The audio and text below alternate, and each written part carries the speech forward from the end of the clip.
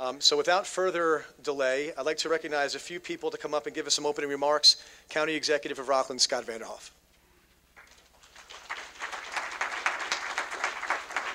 Greg, thank you, uh, and thank you, Prudential Rand, for hosting this. Um, it's it's timely, obviously, and it's very important for all of you who are here.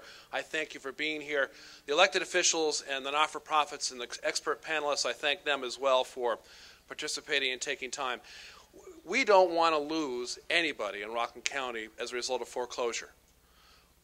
Not we don't. The purpose and the point of being a resident here for almost everyone is to enjoy what the county has to offer.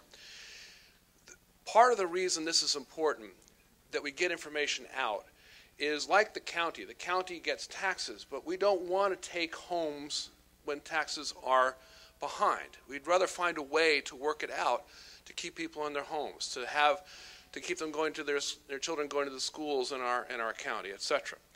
So this kind of conference, this kind of ability to talk with people about what we can, what we know, what we can do, and how we can be helpful is very important.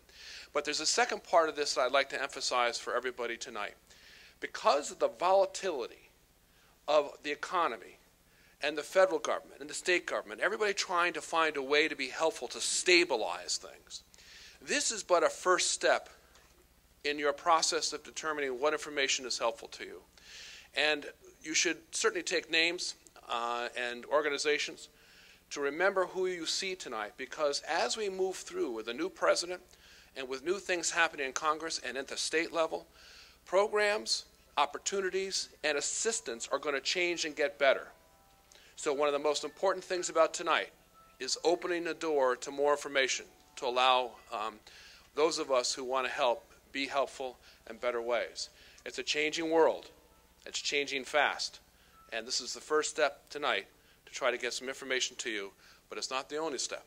There'll be more coming, I'm sure. So thank you all very much for being here.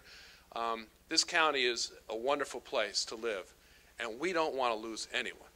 Thank you for being here.